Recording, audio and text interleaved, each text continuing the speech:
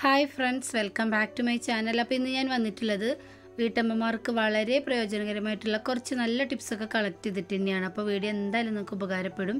എല്ലാവരും ഒന്ന് സ്കിപ്പ് ചെയ്യാതെ കാണുക ലൈക്ക് ചെയ്യുക ഷെയർ ചെയ്യുക സബ്സ്ക്രൈബ് ചെയ്യാതെ കാണുന്ന പുതിയ കൂട്ടുകാർ ആരെങ്കിലും ഉണ്ടെങ്കിൽ സബ്സ്ക്രൈബും കൂടെ ചെയ്തൊന്ന് സപ്പോർട്ട് ചെയ്യാം കേട്ടോ. അപ്പോൾ നമുക്ക് നേരെ വീഡിയോയിലേക്ക് പോവാം. ഫസ്റ്റത്തെ ടിപ്പ് എന്താണെന്ന് കണ്ടു നോക്കാം. നമ്മളുടെ വീട്ടിൽ ഇതുപോലെ ഫ്രീസറിൽ ഐസ് കട്ടയായിട്ടുണ്ടെങ്കിൽ കുറേ കറണ്ട് ബില്ല് നമുക്ക് ചിലവാകുന്നതാണ്. അതുപോലെ തന്നെ നമ്മൾ കത്തിയൊക്കെ വെച്ച് ഇത് ക്ലീൻ ചെയ്യുന്ന സമയത്ത് നമ്മളുടെ ഫ്രിഡ്ജൊക്കെ നാശമാവാനുള്ള സാധ്യതയുണ്ട്. അതുമല്ലെങ്കിൽ നമ്മൾ ഇതിന്റെ നടുവിലുള്ള ബട്ടൺ ഒന്ന് പ്രസ് ചെയ്താൽ ഫുള്ളായിട്ട് ഇത് മെൽറ്റായിട്ട് പോകുന്നതാണ്. ആ സമയത്ത് നമ്മളുടെ വീടിന്റെ ഉള്ളിൽ മുഴുവനായിട്ട് വെള്ളമായിരിക്കും. അതൊന്നുമില്ലാതെ വളരെ എളുപ്പത്തിൽ നമുക്ക് ഈ പ്രശ്നം പരിഹരിക്കാൻ പറ്റിയ നല്ലൊരു കിടിലൻ ഐഡിയ ആണ് കേട്ടോ ഞാൻ ഈ വീഡിയോയിലൂടെ ഷെയർ ചെയ്തിട്ടുള്ളത്. അതിന് വേണ്ടിയിട്ട് ഒരു പാത്രത്തിലേക്ക് ഞാൻ കല്ലുപ്പാണ് ഇട്ട് കൊടുത്തിട്ടുള്ളത്. ഇതുപോലെ കല്ലുപ്പ് പാത്രത്തിലാക്കി നമ്മൾ വെച്ച് കൊടുക്കുകയാണെങ്കിൽ പിന്നെ ഐസ് ഒന്നും കട്ടയൊന്നും പിടിക്കില്ല. ഉണ്ടായ ഐസൊക്കെ നന്നായിട്ട് ഉരുക്കി മെൽട്ടായിട്ട് പോവുകയും ചെയ്യും കേട്ടോ. കല്ലുപ്പിന് പകരം നമ്മൾ പൊടിയുപ്പ് യൂസ് ചെയ്യരുത്. കല്ലുപ്പ് യൂസ് ചെയ്യുമ്പോഴാണ് നമ്മൾക്ക് നൂറ് ശതമാനം റിസൾട്ട് കിട്ടുന്നത്. അപ്പോൾ എല്ലാവരും ഇതുപോലെ ഒന്ന് ട്രൈ ചെയ്ത് നോക്കണേ. അടുത്ത ടിപ്പ് എന്താണെന്ന് നോക്കാം. നമ്മളുടെ കിച്ചൺ സിങ്കിലുള്ള പൈപ്പ് സ്റ്റീലിന്റെ ആണെങ്കിൽ ഇതുപോലെ നമുക്ക് പാത്രമൊക്കെ കഴുകുന്ന സമയത്ത് സോപ്പും വെള്ളം ഒക്കെ തെറിച്ചിട്ട് ഇങ്ങനെ ഒരു അവസ്ഥയിലായിരിക്കും ഉണ്ടാവുക. നമ്മൾ ദിവസം കഴുകിയാലും പിറ്റേ ദിവസം ഇതുപോലെ തന്നെ ആയിരിക്കും ഉണ്ടാവുക. കാരണം എണ്ണയും സോപ്പും ഒക്കെ തെറിക്കുമ്പോൾ സ്റ്റീലിന്റെ ടാപ്പ് ആകുമ്പോൾ പ്രത്യേകിച്ചും അതിലോട്ട് പിടിക്കാനുള്ള സാധ്യതയുണ്ട്.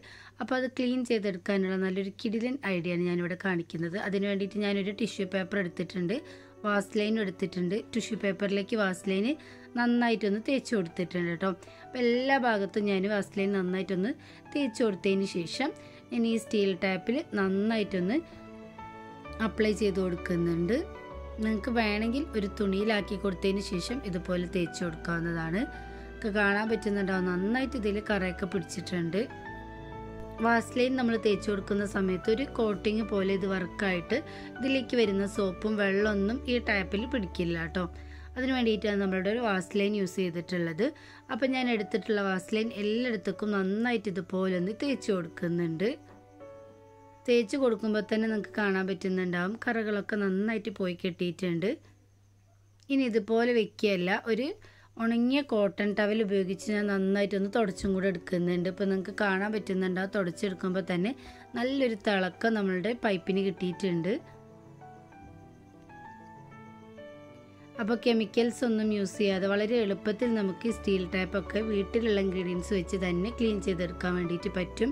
അപ്പോൾ എല്ലാ കറിയും നന്നായിട്ട് പോയിട്ട് പുതിയതുപോലെ തന്നെ കിട്ടിയിട്ടുണ്ട്. അപ്പോൾ എല്ലാവരും ഇതുപോലെ ഒന്ന് ട്രൈ ചെയ്ത് നോക്കിയിട്ട് നിങ്ങളുടെ കമൻസ് അറിയിക്കാൻ മറക്കരുതേ. അപ്പോൾ നെക്സ്റ്റ് ഞാനൊരു ഇഫ്താർ സ്പെഷ്യൽ സ്നാക്സിന്റെ റെസിപ്പിയാണ് കാണിക്കുന്നത്. കുട്ടികൾക്കും വലിയവർക്കും ഒരുപോലെ ഇഷ്ടപ്പെടുന്ന ഒരു സ്നാക്കാണ് ഇത് നമ്മളൊരു ട്രയാങ്കിളിന്റെ ഷേപ്പിലാണ് ഉണ്ടാക്കിയെടുക്കുന്നത്. അതുകൊണ്ട് നമ്മളിതിനെ പൊട്ടറ്റോ ട്രയാങ്കിൾസ് എന്ന് പേരിടാം കേട്ടോ. അപ്പോൾ നമുക്ക് എങ്ങനെയാണ് ഇത് ഉണ്ടാക്കാമെന്ന് നോക്കാം. അതിനായിട്ട് ഞാനിവിടെ ഒരു രണ്ട് വലിയ ഉരുളക്കിഴങ്ങ് നന്നായിട്ടൊന്ന് പുഴുങ്ങിയെടുത്തിട്ടുണ്ട്. ഇനി ഞാനിതിലേക്ക് ചില്ലി ഫ്ലേക്സും കുരുമുളക് പൊടിച്ചതും മല്ലിച്ചപ്പും കരിവേപ്പിലയും ചെറുതായിട്ട് അരിഞ്ഞതും കൂടെ ഇട്ട് കൊടുത്തിട്ട് നന്നായിട്ടൊന്ന് ഇതുപോലെ ഉടച്ചെടുക്കാം. കിഴങ്ങൊക്കെ നന്നായിട്ടൊന്ന് പൊടിച്ചെടുത്തതിന് ശേഷം അതിലേക്ക് ഒരു കപ്പ് അരിപ്പൊടിയാണ് ഞാൻ ചേർത്ത് കൊടുക്കുന്നത്. അരിപ്പൊടിയും കൂടെ ഇട്ട് കൊടുത്തതിന് ശേഷം നന്നായിട്ട് നമുക്ക് കൈ വെച്ചിട്ട് തന്നെ ഒന്ന് കുഴച്ചെടുക്കാം. ഇതിൽ നമ്മൾ അഡീഷണൽ ആയിട്ട് വെള്ളമൊന്നും ചേർത്ത് കൊടുക്കുന്നില്ല. അതുകൊണ്ട് ഞാൻ കുറച്ച് എണ്ണയാണ് കേട്ടോ ഇപ്പോൾ ചേർത്ത് കൊടുക്കുന്നത്. എന്നിട്ട് നന്നായിട്ട് നമുക്കൊന്ന് കുഴച്ചെടുക്കാം.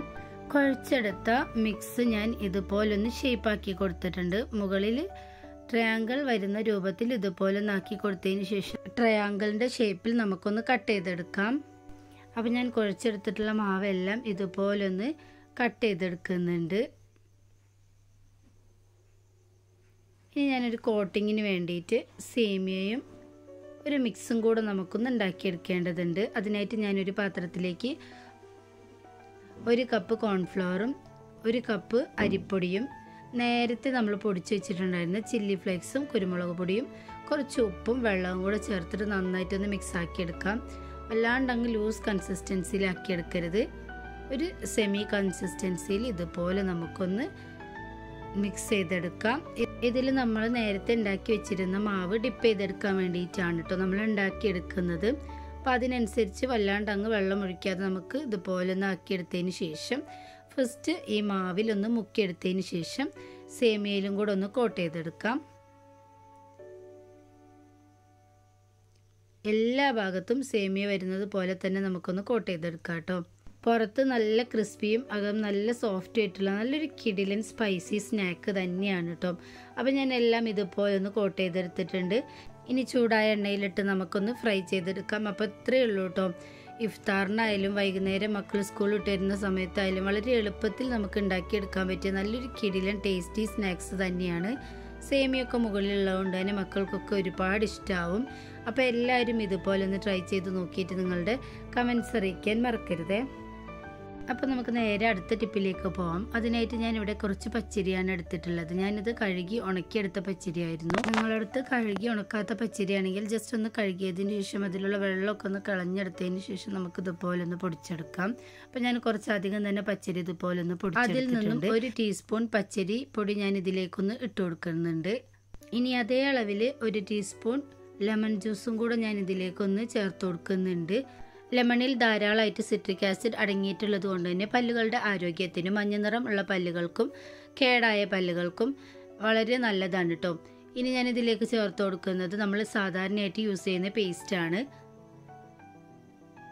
ഏത് പേസ്റ്റാണ് നമ്മൾ യൂസ് ചെയ്യുന്നത് അത് ഇതിലേക്ക് ചേർത്ത് കൊടുക്കാവുന്നതാണ് കേട്ടോ നമ്മൾ ഉണ്ടാക്കിയെടുക്കുന്ന സമയത്ത് കുറച്ചധികം ക്വാണ്ടിറ്റിയിൽ ഉണ്ടാക്കിയെടുക്കുകയാണെങ്കിൽ ഒരാഴ്ച വരെയൊക്കെ ഫ്രിഡ്ജിൽ വെച്ചിട്ട് നമുക്കിത് യൂസ് ചെയ്യാൻ വേണ്ടിയിട്ട് പറ്റും.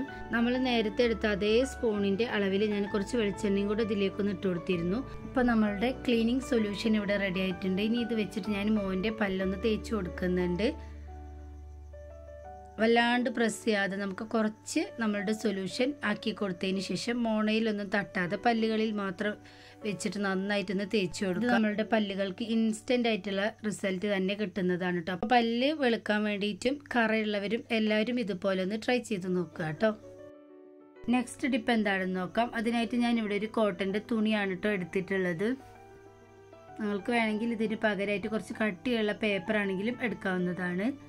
ഇനി ഞാൻ ഇതിലേക്ക് ഇട്ട് കൊടുക്കുന്നത് റേഷൻ അരിയാണ് കേട്ടോ നമ്മൾ ഏത് അരി കൊണ്ടാണോ ചോറ് വയ്ക്കുന്നത് ആ അരി നമുക്ക് ഇതിലേക്ക് ഇട്ട് കൊടുക്കാവുന്നതാണ്. അപ്പം ഞാൻ കുറച്ച് അരി ഇട്ട് കൊടുത്തതിന് ശേഷം ഇനി ഞാൻ ഇതിലേക്ക് ഒഴിച്ചു കൊടുക്കുന്നത് കംഫോർട്ടാണ് കേട്ടോ നല്ലൊരു സ്മെല്ല് കിട്ടും നമ്മളുടെ ഈ കംഫോർട്ട് യൂസ് ചെയ്യുന്ന സമയത്ത്. ഏത് ഫ്ലേവറിലുള്ള കംഫോർട്ട് നമുക്ക് യൂസ് ചെയ്യാവുന്നതാണ്. അപ്പം ഞാൻ ഇതിലേക്ക് കുറച്ചൊന്ന് ഒഴിച്ചു കൊടുക്കുന്നുണ്ട്. നമ്മൾ ടിഷ്യൂ പേപ്പർ എടുക്കുകയാണെങ്കിൽ നമ്മൾ ഈ കംഫോർട്ടൊക്കെ ഒഴിച്ചു കൊടുക്കുന്ന സമയത്ത് അത് കുതിർന്ന് പോകാനുള്ള സാധ്യതയുണ്ട്. അതുകൊണ്ടാണ് ഞാനിപ്പോൾ ഒരു കോട്ടന്റെ തുണി എടുത്തിട്ടുള്ളത്. നിങ്ങൾക്ക് വേണമെങ്കിൽ കുറച്ച് കട്ടിയുള്ള പേപ്പർ ആണെങ്കിൽ ഇതിന് പകരമായിട്ട് യൂസ് ചെയ്യാം കേട്ടോ. ഇനി ഞാൻ അതിന്റെ മുകളിലേക്കായിട്ടും കുറച്ച് അരി ഇതുപോലെ ഒന്ന് ഇട്ട് കൊടുത്തതിന് ശേഷം വീഡിയോയിൽ കാണുന്നത് പോലെ തന്നെ നമുക്കൊന്ന് ഫോൾഡ് ചെയ്തെടുക്കാം. ഇനി അതിൽ നിന്നും അരിയൊന്ന് പുറത്ത് വരാതിരിക്കാൻ വേണ്ടിയിട്ടൊരു റബ്ബർ ബാൻഡ് കൂടെ ഇട്ട് നന്നായിട്ടൊന്ന് ടൈറ്റായിട്ടൊന്ന് കെട്ടിക്കൊടുക്കുന്നുണ്ട്. ഇനി ഞാൻ വേറൊരു കോട്ടൺ ടവൽ ഇതുപോലെ ഒന്ന് എടുത്തിട്ടുണ്ട്. ഇനി അതിലേക്ക് ഞാൻ കുറച്ച് റേഷൻ അരി തന്നെയാണ് ഇട്ട് ഇട്ട് കൊടുക്കുന്നത്. ഇനി ഞാൻ ഇതിലേക്ക് ഇട്ട് കൊടുക്കുന്നത് കർപ്പൂരാണ് കേട്ടോ നമ്മുടെ വീടുകളിലൊക്കെ യൂസ് ചെയ്യുന്ന പച്ചക്കർപ്പൂരം ഇല്ല അതാണ് അത് ഞാൻ ജസ്റ്റ് കൈ വെച്ചിട്ടൊന്ന് പൊടിച്ചതിന് ശേഷം ഒരു മൂന്നെണ്ണം ഇതിലേക്കൊന്ന് ഇട്ട് കൊടുക്കുന്നുണ്ട്. നമ്മൾ കൈ വെച്ച് പൊടിച്ചെടുക്കുമ്പോൾ തന്നെ നമുക്ക് വളരെ പെട്ടെന്ന് ഇത് പൊടിച്ചെടുക്കാൻ വേണ്ടിയിട്ട് പറ്റും കേട്ടോ. ഇനി ഞാൻ ഇതിലേക്ക് ഒഴിച്ചെടുക്കുന്നത് ഷാമ്പു ആണ്. നിങ്ങൾക്ക് ഷാമ്പു ഇല്ലെങ്കിൽ ഇതിന് പകരമായിട്ട് നിങ്ങൾക്ക് ചന്ദനല്ലേ അത് വേണമെങ്കിലും യൂസ് ചെയ്യാവുന്നതാണ്. ചന്ദനം ചേർത്ത് കൊടുക്കുന്ന സമയത്ത് നല്ലൊരു സ്മെല്ലായിരിക്കും കേട്ടോ നമ്മൾ ഉണ്ടാക്കിയെടുത്തിട്ടുള്ള ഈ സംഭവത്തിന്. അപ്പം ഞാൻ ഇതും ഒന്ന് നന്നായിട്ടൊന്ന് കെട്ടിക്കൊടുത്തതിന് ശേഷം ഒരു റബ്ബർ ബാൻഡ് ഇട്ടൊന്ന് ടൈറ്റാക്കി കൊടുക്കുന്നുണ്ട്. ഇപ്പം നമ്മൾ ഉണ്ടാക്കിയെടുത്തിട്ടുള്ള രണ്ടും എങ്ങനെ എവിടെ യൂസ് ചെയ്യാമെന്ന് നോക്കാം. കംഫോർട്ട് അരിയും മാത്രം യൂസ് ചെയ്തിട്ടുള്ള ഈ തുണി നമുക്ക് അലമാരയുടെ അകത്തൊക്കെ ബാഡ് സ്മെല്ല് വരാനുള്ള നല്ല സാധ്യതയുണ്ട്. മഴക്കാലങ്ങളിലാണെങ്കിൽ പ്രത്യേകിച്ചും വല്ലാണ്ട് സ്മെല്ല് ഉണ്ടാവും. ആ സമയത്ത് നമ്മൾ ഇതുപോലെ ഒരു കിഴി ശേഷം തുണികൾക്കിടയിലോ അലമാരയുടെ പല ഭാഗത്തായിട്ടും ഒക്കെ വെച്ച് കൊടുക്കുകയാണെങ്കിൽ നല്ലൊരു സ്മെല്ലായിരിക്കും നമ്മൾ ഈ അലമാരയൊക്കെ ഓപ്പൺ ചെയ്യുന്ന സമയത്ത് തന്നെ. നമ്മൾ അരി എന്തിനാണ് യൂസ് ചെയ്യുന്നത് വെച്ചാൽ അരിയിൽ നമ്മൾ ഈ കംഫോർട്ട് ഇതുപോലെ ഒഴിച്ചു കൊടുക്കുന്ന സമയത്ത് കുറേ ദിവസത്തേക്ക് അതിന്റെ സ്മെല്ല് പോവാതെ നമുക്ക് ലാസ്റ്റ് ചെയ്യും കേട്ടോ അതിന് വേണ്ടിയിട്ടാണ്. നിങ്ങളടുത്ത് കംഫോർട്ട് ഇല്ലെങ്കിൽ അതിന് പകരമായിട്ട് നിങ്ങൾ ഏത് സ്പ്രേ ആണോ യൂസ് ചെയ്യുന്നത് അത് ഈ അരിയിലേക്കൊന്ന് സ്പ്രേ ചെയ്ത് കൊടുത്തതിന് ശേഷം നമുക്ക് യൂസ് ചെയ്യാവുന്നതാണ്. അപ്പം ഞാൻ ഷെൽഫിലും കൂടെ തുണി വെച്ച് കൊടുത്തിരുന്നു. അവിടെയും കൂടെ ഒരു കിഴി ഇതുപോലെ ഒന്ന് വെച്ച് കൊടുക്കുന്നുണ്ട്. ഇങ്ങനെ നമ്മൾ എവിടെയൊക്കെയാണോ തുണി സ്റ്റോർ ചെയ്ത് വെച്ചിട്ടില്ല അവിടെയൊക്കെ നമുക്ക് ഇതുപോലെ ഒരു കിഴി വെച്ച് കൊടുക്കുകയാണെങ്കിൽ നല്ലൊരു സ്മെല്ല് തന്നെയായിരിക്കും നമുക്ക് കിട്ടുന്നത്. നെക്സ്റ്റ് നമ്മൾ കർപ്പൂരമൊക്കെ വെച്ച് കൊടുത്തിട്ടുണ്ടായിരുന്ന കിഴി ഞാൻ കിച്ചണിലാണ് കേട്ടോ യൂസ് ചെയ്യുന്നത്. കർപ്പൂരമൊക്കെ ചേർത്ത് കൊടുത്തുകൊണ്ട് തന്നെ പല്ലി പാറ്റ എലിയൊന്നും ആ പരിസരത്തേക്ക് തന്നെ വരില്ല. കിച്ചണിലായിരിക്കും കൂടുതലായിട്ടും അവകൾ എപ്പോഴും കാണപ്പെടുന്നത്. അപ്പോൾ നമ്മൾ ഗ്യാസ് സ്റ്റോപ്പിന്റെ അടിയിലും ഗ്യാസ് സ്റ്റോപ്പിന്റെ മുകളിലും അതുപോലെ തന്നെ ഇതുപോലെ സ്റ്റേഷനറി ഒക്കെ വെച്ച സ്ഥലത്തൊക്കെ വെച്ച് കൊടുക്കുകയാണെങ്കിൽ പരിസരത്തേക്ക് തന്നെ അവകളൊന്നും വരില്ല. അപ്പോൾ ഇന്ന് കാണിച്ച എല്ലാ ടിപ്സും എല്ലാവർക്കും പ്രയോജനകരമായി എന്ന് ഞാൻ വിചാരിക്കുന്നു. ഇത്രയും നേരം വീഡിയോ കണ്ട് സപ്പോർട്ട് ചെയ്ത എല്ലാവർക്കും ഒരുപാട് നന്ദിയുണ്ട്. പുതിയ നല്ലൊരു വീഡിയോ ആയിട്ട് ഇനി നിങ്ങളുടെ മുന്നിലേക്ക് വരുന്നത് വരെ എല്ലാവർക്കും ബായ്